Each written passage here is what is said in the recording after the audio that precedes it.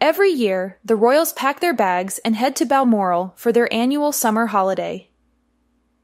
The annual trip was a favorite of the late Queen's as it gave the family a chance to spend quality time together, away from the public eye, as well as a break from royal duties and school. The Prince and Princess of Wales, with their three children, have officially joined King Charles and Queen Camilla for a family gathering at Balmoral Castle. And it seems the occasion provides plenty of bonding time for the younger members of the family on beloved Scottish residence.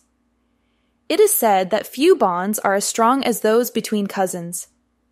Your cousins, more often than not, are the ones you learn the most from and lean on as you grow up.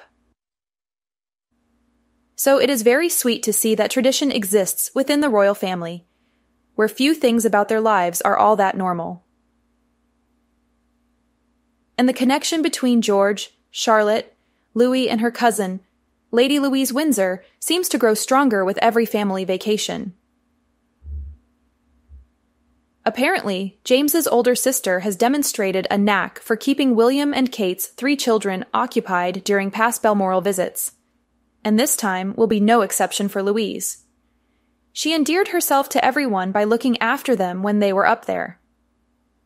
This time together gives the children a chance to bond as they all continue to grow up.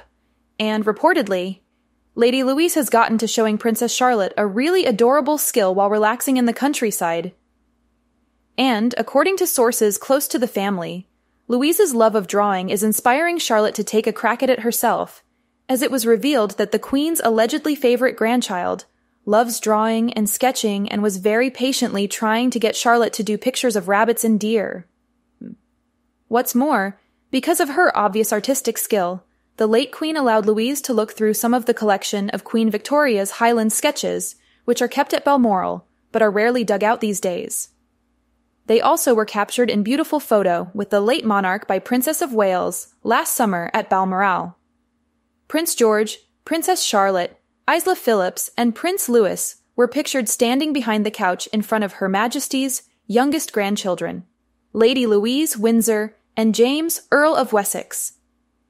In the past, Louise was also closely on hand to keep George and Charlotte in line as they performed bridesmaid page boy duties and Princess Eugenie's wedding last year, and the family meet during Christmas.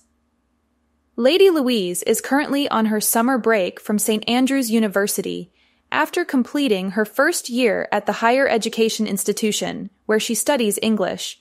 Previously, her mum Sophie gave an interview to the BBC where she talked about how she and her husband are protective of Louise, but realize she has to be allowed to live her life. She revealed that her daughter is not on social media and has the usual worries a parent has for their children. Outside of her studies, Louise has also been following in the footsteps of her late grandfather, Prince Philip, by taking up his beloved sport of carriage driving. She made her public speaking debut in a documentary about Philip's life last year, where she spoke about how they bonded over the sport. The Earl and Countess of Wessex decided that they would not give Louise and James the HRH styles and Prince and Princess titles at birth.